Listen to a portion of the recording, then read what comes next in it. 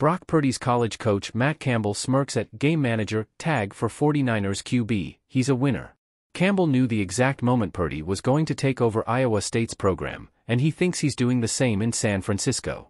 Brock Purdy, who will quarterback the San Francisco 49ers in Super Bowl 58 on Sunday, wasn't a top recruit when coming out of Perry High School in Gilbert, Arizona. But when he started his journey at Iowa State as a freshman in 2018, head coach Matt Campbell knew there was something special. He even knew the exact practice that opened his eyes to what Purdy could be for his Cyclones. Practice 13, fall camp, his freshman year, Campbell told reporters during a media session on Monday.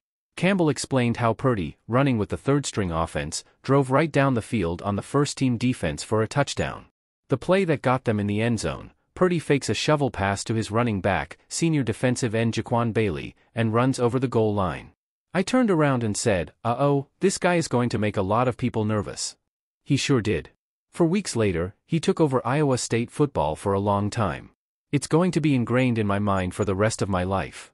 Campbell has seen Purdy make more plays like this over his four seasons at Iowa State, and most recently, leading the 49ers to back-to-back NFC championship games and now the Super Bowl. It's why the game manager title many are giving Purdy heading into his matchup with the Kansas City Chiefs is one Campbell can't help but smirk at. I was smirking in the Green Bay Packers game when he scrambled and won the game for them on the last drive. Then, I was smirking on the scramble on 3 RD and 2 on the play against the Detroit Lions, and he throws it back across the middle and makes the play. And on 3 RD and 4, when he scrambled and ran away from everybody and had the big scramble. So I smirk every time because it's such a narrative that, it's great talking points and great for the rest of the world to comment on. But at the end of the day, he keeps winning. He's the reason why, and continues to be, the guy with the ball in his hands consistently that puts the team in a great position to win. Brock's on a great team, and he's the first guy to tell you. He's the most humble human that I've ever been around, and boy, they got great players. But at the end of the day, Brock has to do his job at a really high rate to be at this position and be in this situation to be where they're at today. He's done an incredible job.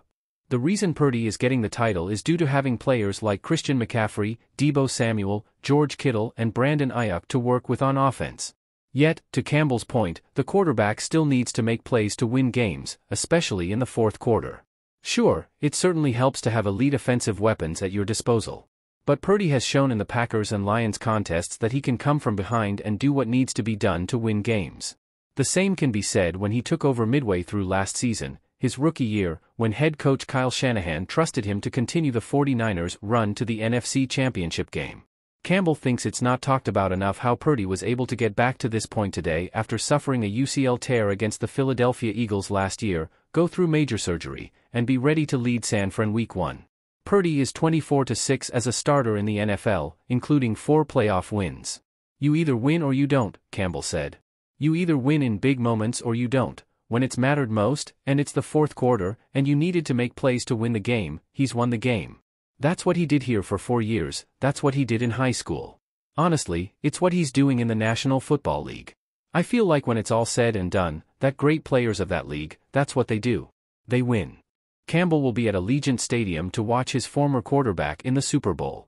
He was famously emotional during Purdy's senior day in 2021, with tears falling down his face as Purdy walked on the field with his parents. The emotions will be high in the Super Bowl, too. It's emotional watching Brock because you care so deeply about him, Campbell said. Our relationship is deeper than winning football games. To me, the greatest joy is it's been fun to watch his success, but even greater joy to watch what his teammates, the coaches, the GM, the owners say about who he is. Because it's the same things they said about him in Ames, Iowa, and the same things they said about him in Perry High School in Arizona.